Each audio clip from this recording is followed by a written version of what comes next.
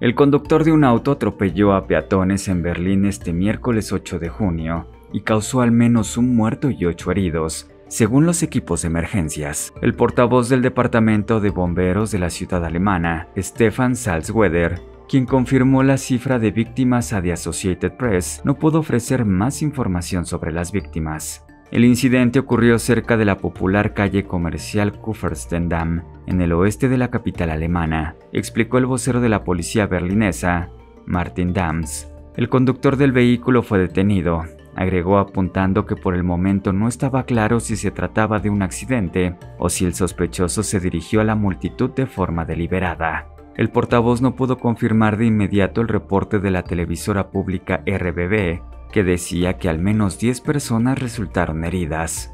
El atropello fue cerca de una plaza donde un extremista atropelló y mató a 13 personas en un ataque a un mercado navideño.